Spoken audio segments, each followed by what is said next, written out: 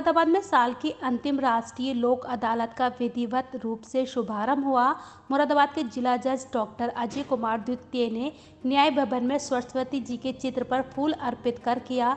दीप प्रज्वलन के बाद कार्यक्रम में जिला जज का न्यायिक अधिकारियों ने बुके देकर स्वागत किया। कार्यक्रम के बाद जिला जज व अन्य अधिकारियों ने लोक अदालतों का निरीक्षण किया। कार्यक्रम में जिला विधिक सेवा प्राधिकरण के सचिव, नीतिवान निगम के अनुसार शनिवार को जिला मुख्यालय और वाह्य अदालत का आयोजन किया गया।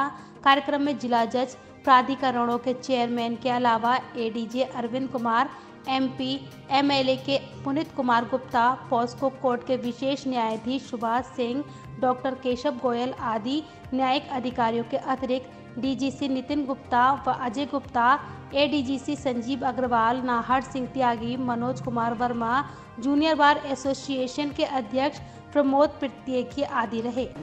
सर, आपका शुभ नाम? मेरा नाम नीतिवान निगम है। मैं यहाँ पर सचिव जिला विधिक सेवा प्राधिकरण मुरादाबाद पद के पद पर कार्यरत हूँ।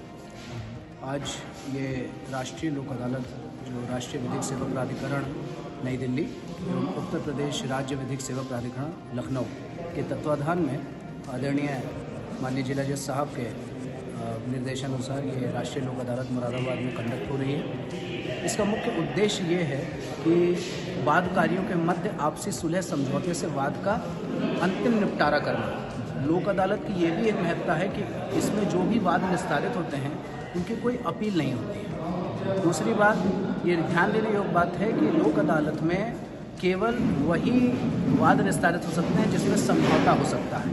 कोई भी गंभीर प्रकृति के अपराध यहाँ नहीं होते हैं निस्तारित। इसमें वो वाद जैसे मोटर व्हीकल टैक्स से संबंधित जो भी केसेस हैं छोटे मोटे वो सब यहाँ पे विस्तारित हो जाते हैं। तो मेरी यही अपील है समस्त जनता से कि अधिक से अधिक राष्ट्रीय लोक अदालत का लाभ उठाएँ और अपने जितने भी विवाद हैं वो आपसी मध्यस्थता व सुलह समझौते से लोक अदालत में विस्तारित करवाएँ।